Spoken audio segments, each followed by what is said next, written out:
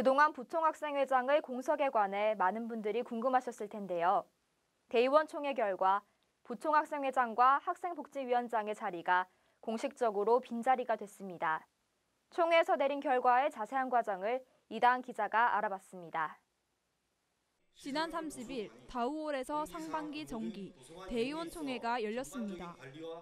이날에는 복지위원장 인준과 부총학생회장 공석에 대한 논의가 주요 쟁점으로 떠올랐습니다.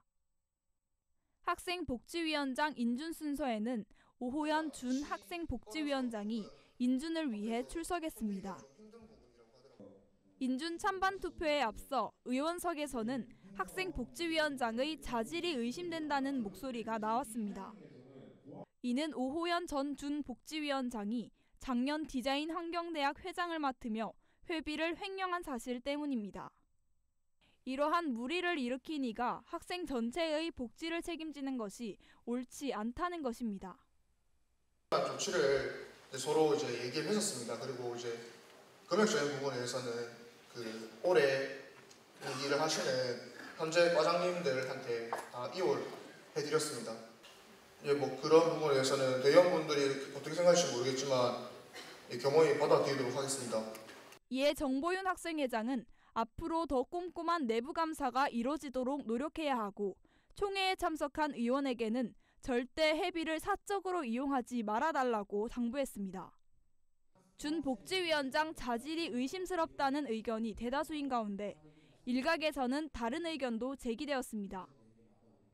낙후된 캠퍼스의 재정비가 시급한 때인 만큼 복지위원장을 공석으로 두기보다는 자리를 채우는 것이 낫다는 것입니다. 그러나 대의원 총회 18조, 의결 정족수, 재적의원 반 이상 출석과 출석의원 반수 이상 찬성으로 의결한다는 조항에 따라 찬성 135표, 반대 164표, 기권 46표로 가반수를 얻지 못하고 부결되었습니다. 한편 부총학생회장 부재 사안을 두고도 여러 의견이 제기되었습니다. 대의원 총회에서 부총학생회장 자리를 공석이 아닌 탄핵으로 자리를 비워두는 것이 오히려 더 깔끔한 정리지 않을까 싶습니다. 11페이지에 부칙 이해 보시면 본 회칙에 없는 사항은 민주적 절차와 관련했다는 회칙에 나와 있습니다. 탄핵이라는 단어를 쓰는 회칙에 나와 있듯이 민주적 절차와 관련했다는 것처럼 과거의 관례처럼 그 공석으로 놔두고 여기서 진짜 필요한 거는 어, 사퇴서를 아까 말씀하신 듯이 사실 사퇴서를 꼭 부착을 하시고요. 상사관께서 이제 뭐 휴가를 나오거나 이러면 뭐, 뭐 학교에 오셔가지고 다시 또 대형 총회를 열 수 없으니까 DUBS 방송에 가서 이렇게 인터뷰 영상으로 정식 사과문을 하는 식으로. 총학생 회장은 탄핵도 고려한 사안이지만 단어 선별에 민감한 점이 있었고 동행 학생의 측과 논의한 결과로는 공석으로 두자는 의견이 나왔다고 전했습니다. 부총학생 회장 공석에 지지하는 입장으로는 총칙 제1장, 제4조, 휴학을 한 학생은 회원이 될 수 없다는 조항에 따라 이미 휴학 처리된 부총학생 회장은 회원이 아님을 강조했습니다. 따라서 회원이 아닌 학생에게 총학생회 세칙은 해당되지 않으므로 그 자리를 공석으로 두는 게 맞다고 주장했습니다. 그러나 부총학생 회장이 편입으로 인해 휴학 처리된 사실은 총학생회 역시 전혀 몰랐을 때 일어난 일입니다.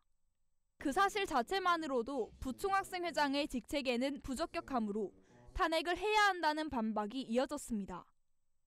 탄핵이 회의에서 발의되기 위해선 전체 인원 3분의 1 이상의 서명을 받아야 합니다.